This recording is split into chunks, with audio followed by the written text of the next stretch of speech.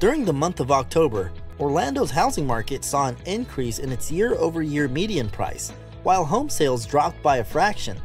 The inventory of homes available for purchase in Orlando experienced its third consecutive decline in 2019.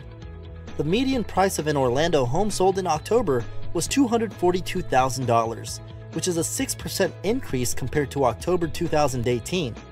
A total of 2,899 homes sold during the month, a tally that is 1% less than the 2,924 sales in October 2018. Would-be buyers continue to be challenged by the limited number of homes available for sale in Orlando.